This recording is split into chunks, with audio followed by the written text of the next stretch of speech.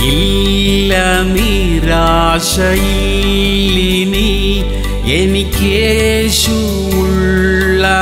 എനിക്കേശുള്ളതാൽ ഇല്ല നിരാശയിലിനി എനിക്കേശുള്ളതാൽ